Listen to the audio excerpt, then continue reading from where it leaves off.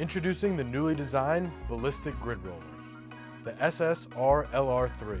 This grid design roller is one and a half inches, made out of a heavy duty plastic with a 160 degree angled head. It also features a finger grip handle with a tethered eyelet for the installer to add their own wrist strap.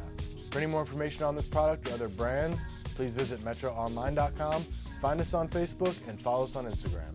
Thank you for choosing Metra Electronics. We are 12 Volt.